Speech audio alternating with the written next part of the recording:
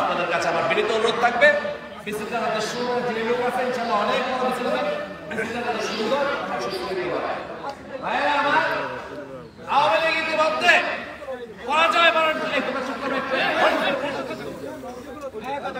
আওয়ামী লীগ ইতিমধ্যে পরাজয় বরণ করেছে। জনগণের কাছে পরাজয় বরণ করেছে।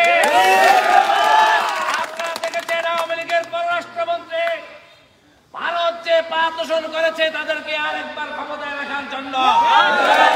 বাংলাদেশের মানুষ তাদেরকে ক্ষমতায় রাখতে চায় না, তারা এটা বুঝে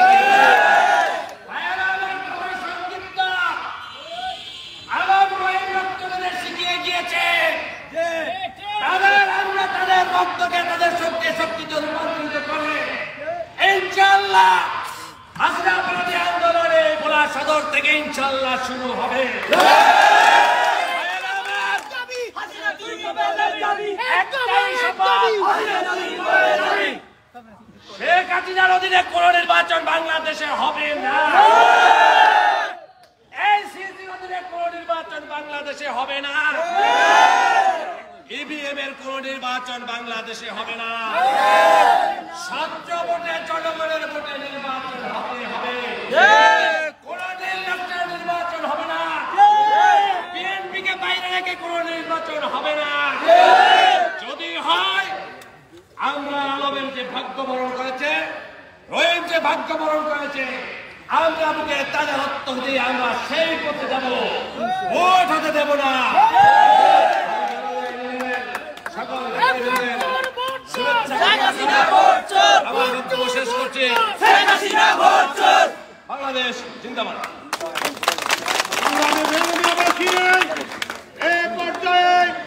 আপনাদের সামনে বক্তব্য রাখবেন আজকের সবার প্রধান অতিথি ভোলার গণমানুষের প্রিয় নেতা, সাবেক মন্ত্রী আবাদ মোশাদ হোসেন সাধারণ সাহেবের সুযোগ্য সন্তান, ভোলা বিএনপির ভবিষ্যৎ কান্ডারি, ভোলা সদর থানা বিএনপির সম্মানিত আহ্বায়ক জনাব আসিফ আলতাফ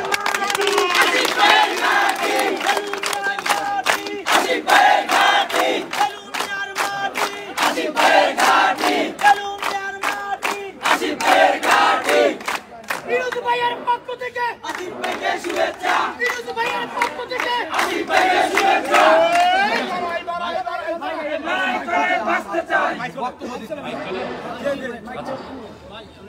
আসসালামু আলাইকুম। বিসমিল্লাহির রহমানির রহিম।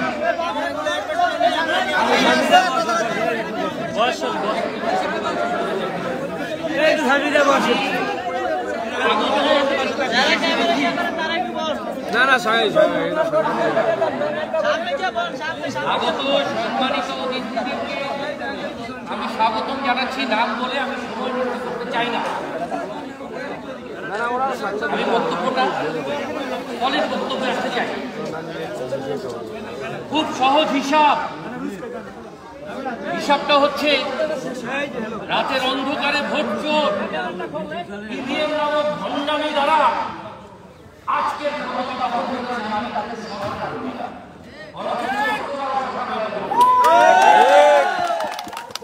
একটা কথাই বলতে চাই।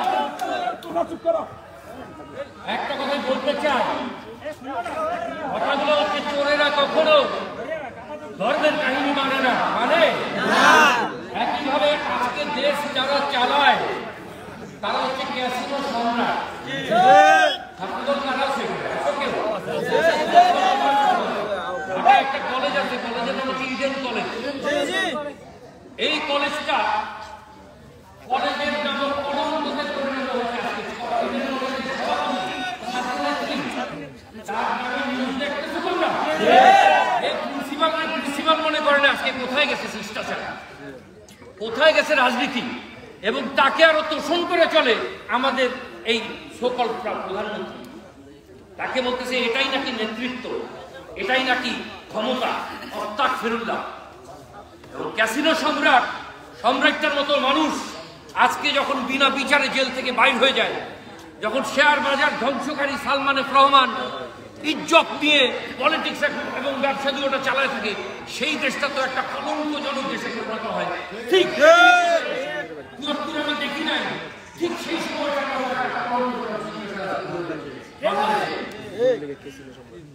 এইরকম অসংখ্য মানুষ দিয়ে দেশ চলতে পারে না।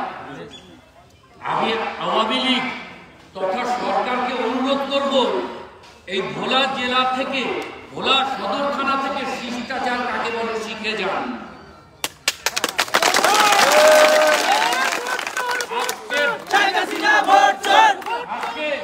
আজকে মিটিং স্বাগত জানাতে আসছে পাশের আমাদের আহ, বা- আহ, অলি অলি মাস্টার কাকা। আমাদের সুদূর শিবপুর থেকে নুর কাকা চলে আসছে এখানে। আমাদের স্বাগত জানাতে অর্থাৎ তাদের রক্ত আজ পর্যন্ত টকবক করে।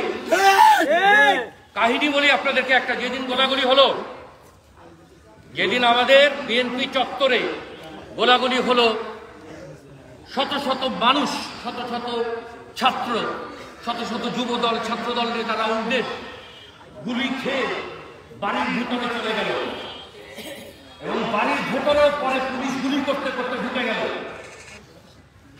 আমি আজকের বাংলাদেশে একই সাথে সাহসী মার্জিত এবং এরকম শিষ্টাচারী লোক আমি নিজে আগে আমি এইরকম একটা ভদ্রলোক তিনি একা পুলিশের সামনে শেষ করলেন।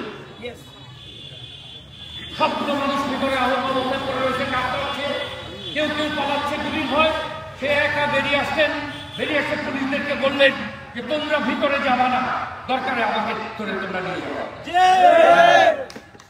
এইরকম নেতার অধীনে আমি রাজনীতি করতে নেমেছি। তারেক রহমানের আদর্শে আদর্শিত হয়ে তার আদেশে আপনাদের সামনে এসেছি। আমি নিজেকে আসলেই ভাগ্যবান বলে মনে করি।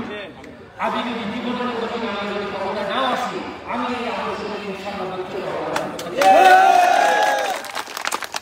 যাই হোক কথায় কথায় অনেক কথা চলে আসে ভেলুমিয়া ইউনিয়নের পাঁচজনের নাম না নিলেই নয় এই পাঁচটা ছেলে মোহাম্মদ রফিক গাজী শাবিন মহসিন এবং মোহাম্মদ রাকিব। তারা গুলিবিদ্ধ। আজও তাদের ট্রিটমেন্ট দরকার। আমি বলতে চাই আমি এই- ট্রিটমেন্টের ভাগিদার হতে চাই।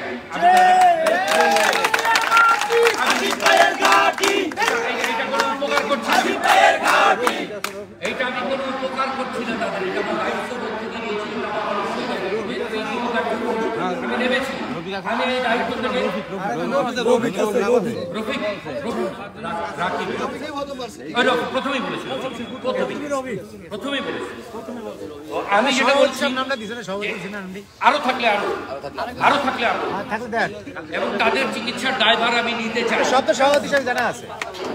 এবং আমি আমার আমার অনুরোধ রইবে আমার এই যে ইউনুস কমান্ডার কাকার কাছে জলিল কাকার কাছে জলিল খা কাকার কাছে, যারা এই ইউনিয়নের বিএনপিকে শিশুর মতো করে আগলে রাখেন, যাদের মমত্ববোধ, আবারও বলি, যাদের সাহস, যাদের শিষ্টাচার, এইখানকার বিএনপিকে নিত্য নতুনভাবে আরও আরও শক্তিশালী করে যাচ্ছে। সুতরাং এই ভেলুমিয়া আমার বাবার একান্ত একান্ত কাছের একটি ইউনিয়ন। এই ইউনিয়নে এইরকম নেতৃত্বই আমরা এবং আমি হলফ করে বলতে পারি বাকি তেরোটা ইউনিয়ন আমাদের শক্তিশালী। এবং ভবিষ্যতে আমরা এগিয়ে যাচ্ছি। আপনাদের প্রতি একটাই একটাই আমাদের নির্দেশনা রইবে। যখন আমাদের দেশ নায়ক বলবে যে নেমে আসো রাস্তায় আমরা যেন একটি সেকেন্ড দেরি না আমরা সঙ্গে সঙ্গে তার ডাকে আমরা রাজপথ প্রত্যেকটা অলি গলি বন্ধ করে দেবো বলতে চাই, একটাই কথা, নেতা আমরা আছি, আমরা টাকা দিব। এইটা আমাদের মাটি, কিন্তু ঘাটিটা আপনার আপনার ঘাটি।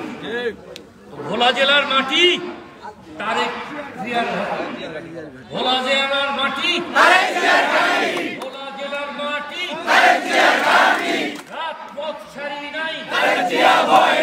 রাজপথ ছাড়ি নাই। অসংখ্য অসংখ্য ধন্যবাদ সবাইকে। এরপরে এই বক্তৃতার পরে আমরা একটা মিছিল নিয়ে। আপনারা অনেক অনেক ভালো থাকুন প্রিয় কাকারা প্রিয় ছোট ভাইয়েরা। শক্তি সঞ্চয় করতে থাকুন। আমরা আসলে বৃহৎ